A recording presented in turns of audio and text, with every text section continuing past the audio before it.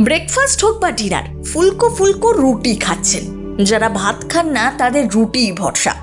কিন্তু জানেন কি, ফুলকো রুটির সঙ্গে আপনার শরীরে ঢুকছে বিষ? হ্যাঁ রুটি। কোনো গুজব নয়। বিজ্ঞান কি বলছে জানেন? শুনলে রুটি খাওয়ার আগে এবার ভাবতে হবে বই কি? আপনার কি ফুলকো ফুলকো গরম রুটি ছাড়া একদম চলে না? তাহলে শুনুন মন দিয়ে। চাটোতে হালকা করে শেখা রুটি আগুনে ঝলসে নিলেই বেলুনের মতন ফুলে ওঠে। সঙ্গে সঙ্গে সেই রুটি খেলে নরম যেমন থাকে, তার ফলে ছিঁড়তেও সুবিধা হয়। এই ফুলকো রুটি দিয়েই শরীরে বিষ ঢুকছে, তা জানেন কি?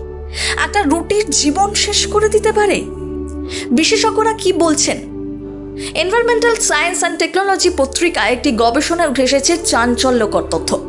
দ্য টাইমস অফ ইন্ডিয়া গণমাধ্যমে দাবি করা হয়েছে, রান্নার সময় অতিরিক্ত আগুনের তাপ থেকে হেটারোসাইক্লিক অ্যামিনস এবং পলিসাইক্লিক অ্যারোমেটিক হাইড্রোকার্বন তৈরি হচ্ছে, যার সঙ্গে নাকি সরাসরি যোগ রয়েছে ক্যান্সারের। মানে ভাবুন, আপনি কোনো তেল, ঝাল, মশলা নয়, সাধারণ আটার রুটি খাচ্ছেন, তাতেও আপনাকে এবার থেকে ভাবতে হবে। আর ভাতের লোভ এড়িয়ে গিয়ে যদি প্রতিদিন রুটি খেতে থাকেন, তাহলে কিন্তু এখন থেকেই সাবধান হন। খেলেও তার ফল কিন্তু মারাত্মক। রুটি নিয়ে নতুন গবেষণা আর কি বলছে জানুন? গ্যাসের আগুন থেকে কার্বন মনোঅক্সাইড নাইট্রোজেন ডাইঅক্সাইডের মতন দূষিত পদার্থগুলি শ্বাসযন্ত্রের সমস্যা ডেকে আনে। কোনো কোনো ক্ষেত্রে তার হৃদযন্ত্রের সমস্যাও হতে পারে।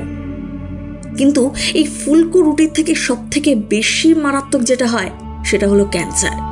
সরাসরি আগুনের শাখা খাবার থেকেই ক্যান্সারে আক্রান্ত হওয়ার আশঙ্কা বাড়তে পারে বলে জানানো হয়েছে।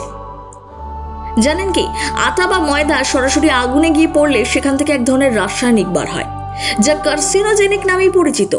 এই পোড়া খাবার খেতে খেতেই শরীরের ভয়ানক বিপদ ডেকে আনে। অনেকেই আবার ভাত আর রুটি একসঙ্গে খেতেই পছন্দ করেন, তাতেও রয়েছে ক্যান্সারের আশঙ্কা, কেন জানেন? ভাত ও রুটি এই দুইয়ের মধ্যেই থাকে প্রচুর পরিমাণ ফাইবার ভিটামিনস মিনারেল কার্বোহাইড্রেট এবং প্রোটিন এছাড়াও কেনা আটায় যে ফাইবার থাকে, তা অনেক বেশি রিফাইন করা থাকে।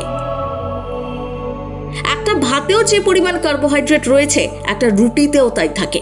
কিন্তু সমস্যা হয় হজমে। এছাড়াও ভাত ও রুটি একসঙ্গে হজম করাতে হলে রক্তে শর্করার পরিমাণও ভেঙে যায়। এবং ভাত ও রুটির মধ্যে থাকা কার্বোহাইড্রেট ভেঙে বেশি সুগার তৈরি হয়। যেখান থেকে ক্যান্সারের সম্ভাবনা বেড়ে যায়। এখন ভাত খাবেন না রুটি? ভাবতে বসেছেন তো? আমাদের লাইফস্টাইল খাবারের অভ্যেস যেভাবে বদলে যাচ্ছে, তাতে ভাবনা হওয়ারই কথা।